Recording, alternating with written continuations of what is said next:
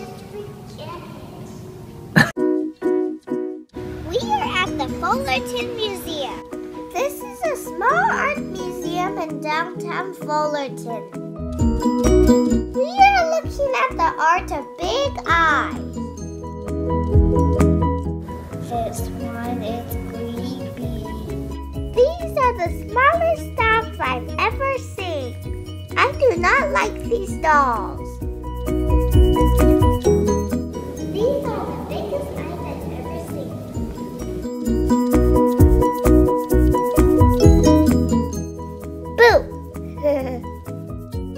now we are looking at the Leo Fender Gallery. Leo Fender invented the world's first electric guitar. Now we're looking at guitars. Why is there a funny looking man? I am posing by some guitars. Notes on this chair? Then I played a Fender guitar.